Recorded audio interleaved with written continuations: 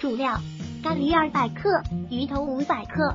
辅料：生姜、大蒜、西芹、朝天椒、油、盐、料酒二勺，醋一大勺。准备时间：十到二十分钟。制作时间：十到二十分钟。生姜切丝，大蒜切末，西芹斜切成段，新鲜红朝天椒切圈。待梦度咖喱愈合，鱼头炖熟去再洗净。炒锅倒适量的油，烧至九成热，下入鱼头煎至表面金黄，将鱼头扒开，将姜蒜等佐料下入烧煎，倒入半锅水，将咖喱分成小块下入，再加入少量的盐，两勺料酒，一大勺醋，大火烧开后，改小火焖煮十分钟，至汤汁浓稠，水分收至半干时，即可起锅装盘了。烹饪技巧。鱼头一定要用心清洗干净。